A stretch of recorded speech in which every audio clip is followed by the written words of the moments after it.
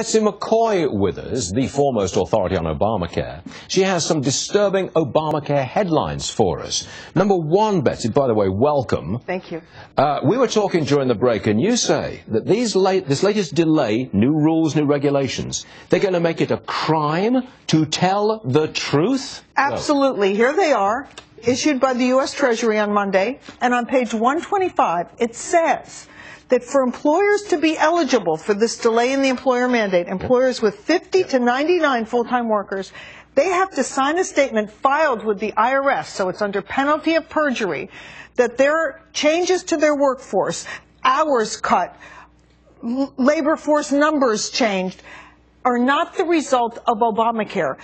So, in Really? fact, really, re- he- Wait, here it second, is. Wait a second. I, I want to interpret this. I, look, I'm a mid-sized employer. I've got Yes. 70 employees, for example, and I have actually cut the number of full-time employees over the past year because of Obamacare. That's right. But I can't say that. No, I you can't can, but delay. you have to swear that those cuts were not because of Obamacare. Not. And that invites Big Brother in to examine your books. What was this business decision you made? W- were you justified in reducing your So number of second. If- employees? If, I really did cut the number of employees because of Obamacare, I can't say it. You can't In say fact, it, I've got to lie. You have to lie. This forces you to lie, and here's why. Because in 2013, we saw during the first seven months, 77% of hires were part-time.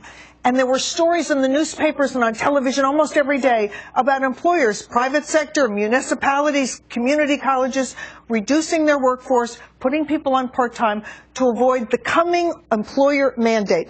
Democrats are terrified it's going to happen during the second part of this year in anticipation of 2015. And that was the impetus for delay. Yeah, I mean, well, we saw with Darden, which was interesting because Clarence Otis, I think, is a CEO, is a friend of President Obama. They were like, you know, Olive Garden, uh, Right. you know, they were one of the first ones to come out and say, we're going to have to do this. And they were thrilled. Papa John's, you know, I mean, first of all, they made it a public relations uh, disaster. Then they said, maybe we'll boycott these establishments. But now you're saying, let's make it criminal. I mean, so this is tough. And To this is only one of the lies in here. Let me tell you about another one on page 37. Okay. It says, we know employers are very disturbed about the change in the definition of full-time from 40 hours to 30 hours, but we can't change it because the statute specifies 30 hours. It's the only thing in the statute they're not willing to change by fiat. Okay, I got one last one. What we at the top of the show we said you're going to predict that 25 million people lose their plans this year. Well, now it's hard to say. I made that prediction before Monday's Monday's uh, change in regulations. They're trying to do this to avoid so many employers pushing their employees out of the Right. on the job coverage and into the exchanges.